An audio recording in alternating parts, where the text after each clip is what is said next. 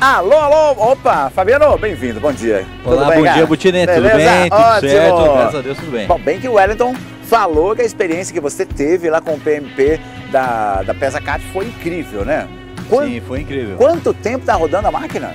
Essa máquina era de fabricação 1995. Que isso? Aí em maio nós fizemos a revisão de 60 mil horas dela e inclusive hoje o técnico Juliano da PESA que está lá na- na- nas nossas instalações fazendo a revisão de 61 mil horas Gente. desse equipamento. 61 mil horas? Qual é, em média, a vida útil de uma máquina? Até ter que ser reformada ou algo assim? Isso depende um pouco Da manutenção. do segmento e da manutenção. É, da Esse manutenção é um- depende muito, né? Esse é um caso de sucesso.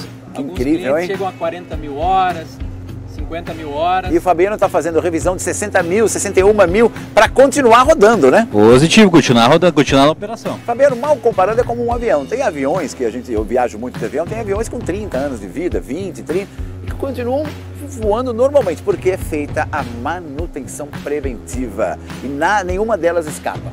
Qual é o teu programa? É o Premium, não é? É o premium, sim. O técnico vai lá com todas as peças Hum. né, e faz, executa o trabalho da nossa instalação lá. E aí, evidentemente, vou falar mais uma coisa óbvia, hein? mas tem que lembrar. É muito, você pode pensar, ah, mas Botini, é, é muito caro fazer essa manutenção. Porém, é muito mais caro você depois ter a máquina quebrada e ter que corrigir, não é? Com certeza. Para quem tem controle, não é caro. Para quem quem- tem controle, sabe onde que vai o teu custo, sabe que não é caro. A preventiva não é cara, a corretiva é cara. É exatamente isso, ó. Olha, parabéns, E hein? o Fabiano é um engenheiro de manutenção, Botini, então ele pode falar com muita propriedade sobre isso. Muito bem, Fabiano. Cara, muito bom ter você aqui.